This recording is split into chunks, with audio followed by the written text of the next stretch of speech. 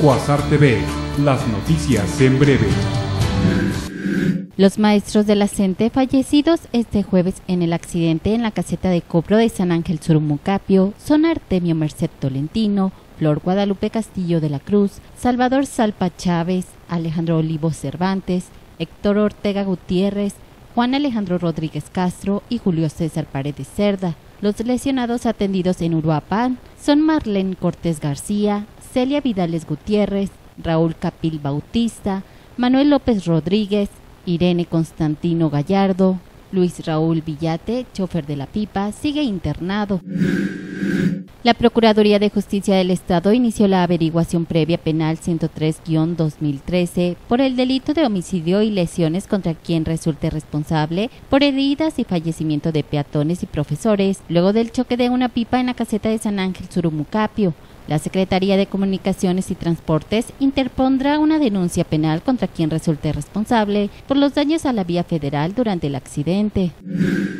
Errores humanos y fallas técnicas fueron las causas de que una pipa que transportaba chapopote se impactara contra profesores de la CENTE que se manifestaban en la caseta de cobro de San Ángel Surumucapio, informó la Secretaría de Comunicaciones y Transporte en un comunicado que comentó esta mañana el encargado de la Secretaría de Gobierno de Michoacán, Fernando Cano.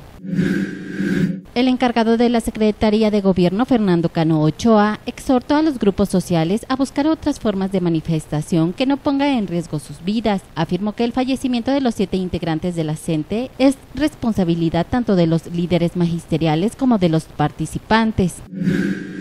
La Procuraduría Federal del Consumidor anunció que se prohíbe el cobro de propinas que se cargan directamente a las cuentas de consumo. Miguel Idelfonso Mares, Procurador Federal del Consumidor, aseguró que se sancionará a quien lo haga, dijo que en Michoacán se ha multado a 30 establecimientos.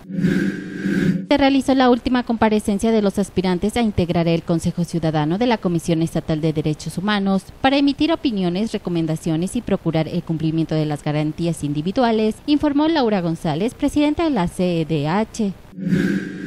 El Congreso de la Unión realizará una iniciativa de ley para regular las marchas y manifestaciones. El objetivo es evitar incidentes como en el que perdieron la vida los maestros de la CENTE, informó Fidel Calderón Torreblanca, diputado perredista.